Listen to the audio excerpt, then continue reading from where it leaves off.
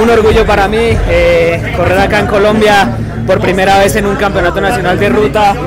Y bueno, un segundo lugar que lo luché bastante desde la mitad de carrera, sabía que tocaba así, tocaba ir a full gas o, perdíamos, pero bueno, eh, logro un podio, mi primer podio en una carrera importante de ruta en Colombia, muy muy contento y muy motivado para lo que viene. Bueno, eh, tuve un pinchazo en la vuelta número 5 o no me acuerdo.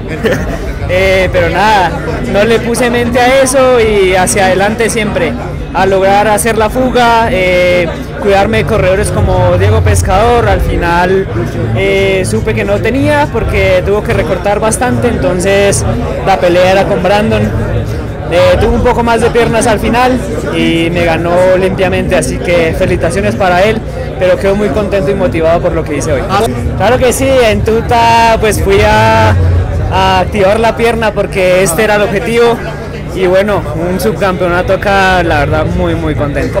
Sin piernas, la verdad, iba encalambrado y solo quería llegar a, a, la meta. Eh, quería ganar, pero bueno, no pasó nada.